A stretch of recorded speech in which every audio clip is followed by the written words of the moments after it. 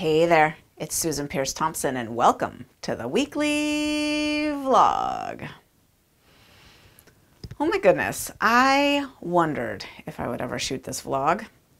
I have kind of shied away from it, tiptoed around it, which is not really my style.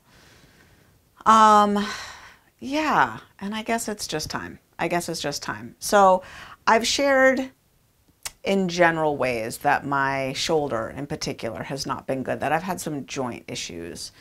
And what I haven't shared, what I've been hesitant to share, because I really don't uh, want to get into the politics of this at all. And in Bright Line Eating, we tend to really avoid contentious politics, but I'm not sharing this in a contentious way. This is just my experience. What I haven't shared is that my joints have been really messed up since I got the Pfizer vaccine um, a couple years ago. And it took some joint issues, which I already had, legit. I had some knee challenges walking up and down stairs because my knees really point in quite badly. Um, and I had some shoulder impingement. And it's sort of just my joints since have just been horrific. Like, um, you know, could barely move my right shoulder and all these issues with the joints in my knuckles of my fingers and my hips, which I've never had issues with, suddenly were locking up, um, like completely locking up on me. And um, yeah, and my knees as well. So, so I'm like 48 years old. Now I'm 49, but I was 48 years old and I had like knee issues, hip issues, shoulder issues, knuckle and finger issues. And I'm like, okay, this is this is really getting ridiculous. And I mentioned just sort of obliquely on a couple vlogs a few months ago that I was having joint pain. And this woman wrote in to customer support and she said, please pass my name and contact information along to Susan. I can really help her. I've been watching your vlog for a long, long time. Uh, I would love to help her, and I, I know that I can. And I'd reached the point in my seeking of health and solutions for this where I'd pretty much I, I bumped up against the end of the road with Western medicine. Like I was doing physical therapy and it just wasn't helping. And in fact, it was getting more and more annoying because every time I'd go in, they'd be like, oh, and you could do those exercises three times a day instead of one. And I'm sort of like, how much time do you think I have to be doing these exercises that frankly are not helping? Like how much how much can I go like this with my shoulder? And it was actually just aggravating it. It was not helping. Um, so I was really at a place where I was open to, you know, a different road. So I reached out to her. I don't usually. People write into me with all kinds of stuff, and I don't usually, but but I did. Her message really landed to me as as something I wanted to follow up on. And uh, when I first talked with her, I heard her story, and it was kind of gobsmacking. Um, she is from Australia, from Sydney, which of course endears me to her right away because I lived there for a couple years. And she was in two car accidents, kind of back to back, about a year apart when she was, you know, 28, 29 years old. The first one, she was sitting at a red light and a drunk driver smashed into her from behind and then a year later, someone smashed into her from the front, and she uh, ended up with a neck fracture that never got diagnosed properly, and also just extreme, um, excruciating pain, which she lived with for seven years. Oh, and also total paralysis of her left arm. Um, and she reached a point seven years later where Western medicine had nothing left to say to her except, we can try this surgery on you but it's got a 50 50 chance of leaving you completely paralyzed from the neck down. 50 50. And she said, probably what you and I would say. Um, I don't love those odds. That doesn't sound wonderful. I'll have to find another way. And she couldn't work at that point. She uh, became homeless, became, you know, pretty much destitute. She made her way to Israel and um, was working in a in a shelter for developmentally disabled adults because it gave her room and board and would allow her to work slowly, you know, and do what she could because they were very sensitive to adults with disabilities. And uh, there ended up being a nutrition workshop being held for a weekend, and she went. And the teacher of the workshop told her story. You know, it just sometimes it really just takes one to help one. It takes one to know one, and it takes one to help one. And she met this man leading this workshop who told a story of being in a wheelchair, completely, you know, musculoskeletally defunct, and had, you know, experienced getting his life back through the energetics of food and he started teaching her the energetics of food. She got back to Sydney. She started uh, doing chi yoga. You know, actually, she pronounced it ki yoga, but chi is in like the the life force, right? But uh, ki yoga, and then she studied Zen Shiatsu, uh, ancient Japanese energetics of food. And she apprenticed with someone who had apprenticed with, you know, um, one of these masters in Japan. So ancient Japanese food energy teachings around the meridians and, you know, food. Yeah, I don't know, food stuff that I'd never heard of. So the first thing she did was she got me on this cocktail of herbs and extracts that was like all sorts of stuff in there, you know, okay. Uh, so I started taking that and my energy balanced out and suddenly I needed a little less sleep, which was super helpful and I felt grounded and stable and more well. She said, This will just give you a baseline of health that you can sort of heal from. And then she, she said, let's, let's review your diet. And now I'm thinking, you know, well, I eat impeccably, right? Like, so yeah, let's review my diet. So we went through it with a fine tooth comb, and she was like, she had opinions, like right away. I'm like, well, for breakfast, I always have the same thing. She's like, okay, that's a problem. and I'm like, no, no, no, automaticity. This is important for me as I heal from food addiction. Now, what's great is that she has been watching my vlog for years. So she really understands how I think about food and my food addiction. And she said, I understand. I understand. Uh, but tell me what you eat. And I said, okay, so first thing for breakfast is one ounce of oats. And she said, what kind of oats? And I said, well, quick oats. she said, quick oats? She said, don't eat those. They're very processed, right? Don't eat, you know, two minute microwavable oats. Like, like really. She said, eat the whole oat, oat groats. And I said, I'm not doing that. It takes too much time to cook. I'm a busy woman. And she took a breath and she said, Get yourself a single serve slow cooker. And every night set it up so that your oats will be ready for you in the morning. And I thought about it. I looked on Amazon. I found a cute little one, actually, that I love. Oh my gosh, it came with this little it came with a little um, thing, which I didn't know what it was at first. I put it on top like it was a hat because it's so cute. But it turns out it's not a hat, it's a pot holder. It's a pot holder to lift the lid off. Uh, after it's all hot. So cute. So I got this little single serve slow cooker and now I cook my oat groats, whole oat groats, overnight and they're ready for me every morning. And then I said, and every morning I eat blueberries, feeling so proud of this, right? Blueberries are one of the healthiest foods imaginable. And she said, yeah, why don't you have a mixture of berries? Like, don't always eat blueberries. Sometimes eat strawberries, sometimes eat, you know, other berries. Like, she said, all the berries bring a different profile of nutrients and health promoting agents. And it's just way better if you don't just always eat blueberries. Um, so I, you know, I made those two changes. I started eating whole oat groats, started mixing up my berries a bit. Like this morning, I had a delicious cocktail of blueberries and strawberries. It was wonderful. Um, and then uh, she taught me how to cook my own adzuki beans. So I'd never been one to cook my own beans. They take too long from my perspective. But adzuki beans, she said, no, no, no, they just take an hour. They just take an hour. And she said the key is kombu seaweed.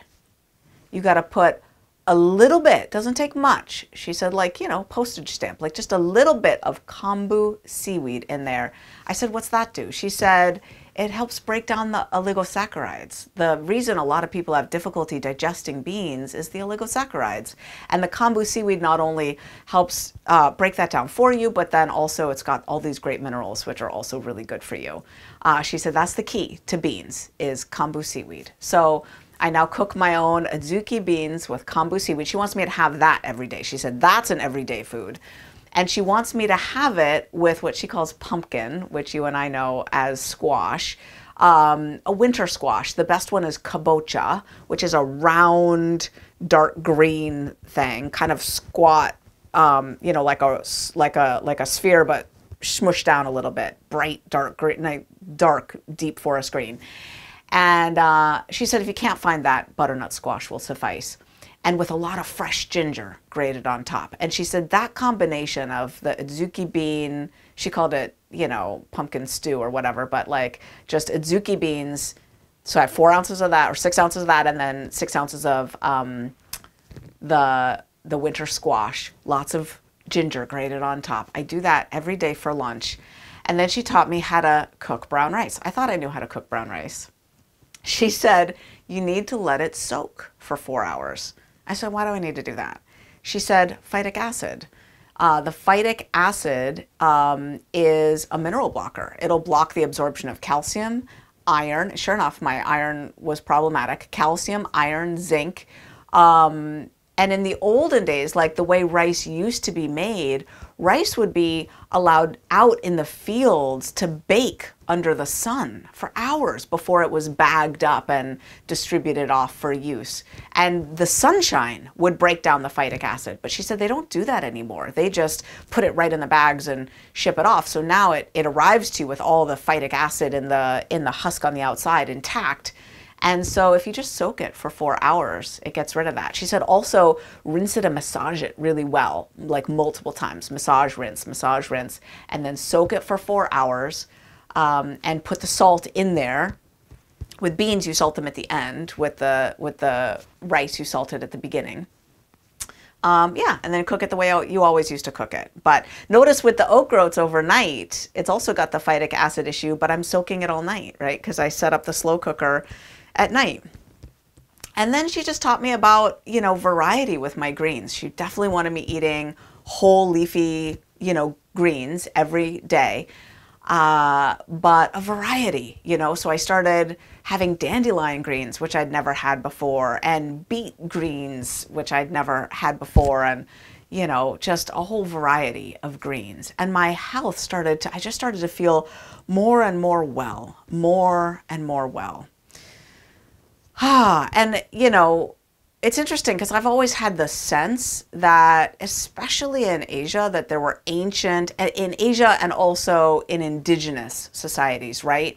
Like um, wisdom about food and about health that has mostly been lost in our modern times. And it was an amazing thing to tap into someone who had been trained by people who'd been trained by people who'd been trained by people about the ancient energetics of food. And um, yeah, so I uh, I have almost full functionality back in my shoulder. My uh, joint inflammation is, you know, way like I don't know what's the what's the like like minuscule, you know, like just has come way down. Um, yeah, and what I'll share is there were things that she suggested that that really um, irked me or that I rolled my eyes at, you know, and almost invariably when I looked deeper, there was solid science behind it. It's like so one of the things she said, she she really got into my bowel movements, like, how are your bowel movements? And she wanted descriptions. And I, I got so joyful giving her the descriptions of my bowel movements because they became so amazingly good. Like every day I was so excited to report to her what my bowel movements were like. And she said, Well, how are you sitting uh, when you when you have your BMs? You know, and I was like, What do you mean how am I sitting? She said, Well, how are you sitting? I said, I'm just sitting on the toilet. She said, I want you to put your feet up. I said, put my feet up. What? She said, yeah, put your feet up. You need to be squatting, the squatting posture. And uh, so I was sharing this with with a friend, and I'm rolling my eyes. Like she she cares about. She doesn't want me to just sit on the toilet. She wants me to put my feet up. And then my friend was like, "Oh yeah, you should do that. There's a squatty potty. It's a thing." And so I googled it, and then there's all this scientific research about how much better your digestive tract is when you put your feet up. And so I, I ordered a squatty potty and I love it now. I won't, I don't even like going to the bathroom anymore with my feet flat on the floor. When I'm in an airport, I take my roller bag suitcase and I turn it on its side and I put it under my feet and I put my feet up if I have to go in an airport bathroom. So anyway, you know, it's that old saying contempt prior to investigation, right? You never know what you're gonna end up agreeing with. I'm sure there are people, maybe somebody listening here, who initially thought bright line eating was just ridiculous in its suggestions. And then, you know, you try it, and a little while later, you have to admit, like, oh, this really actually works. Amazing. So, anyway, um, I know people are going to write in about the vaccine thing, and I just want to say Pfizer has put out their own report about this. Like my joint issues, I am not alone. Like thousands and thousands and thousands and thousands of people have had this issue. And Pfizer's actually put out a report about all the challenges that people are reporting long term. If you want to read that report, we'll link down to it down below. This isn't just, you know, quackery or anti vax madness, right? Um, and I also know that people are going to write in wanting to know who this woman is, especially people who, um, you know, have just come to the end of the road with Western medicine. Like eh, when you, when you, when you're really suffering, and your doctor looks you in the eye and says, "I don't have anything more, more for you," you know, just take more Advil, you know, or whatever um, then I guess you get to the point where you're willing to look into other things. And so I am going to put her contact info down below. I was talking with her last night and I was like, Are you serious? You want me to put your contact info down below? She said, Don't worry. Very few people are actually willing to do what it takes to heed my suggestions and like invest in their full in their full recovery. Like, so, you know, I might be overwhelmed by inquiries at first, but she said, yeah, not really, not really over the long term. And I said, funny, I sort of feel the same way about bright line eating, right? Like many, many, many come to the door uh, and very few actually open it and walk all the way through and then sit down for the long term, you know, come all the way in and sit all the way down. Precious few. Um, but, you know, she was one of the people who doesn't do bright line eating, but listens to my vlogs long term and is here listening um, enjoying, learning, partaking, part of the community. And if you're one of those people who's here listening, not doing bright line eating, but uh, partaking anyway, I just want to say I'm so glad you're here. I'm so glad you're here. And thank you to all the people who reach out a hand and say, I've been through something like what you're going through, and I found healing, I found wellness, and I want to help you. Let me help you. if everyone in the world did that, found their biggest challenge and found a way to help others get better after they got better themselves, what a world we would live in, right? What a world we would live in. So that's the weekly vlog. I'll see you next week.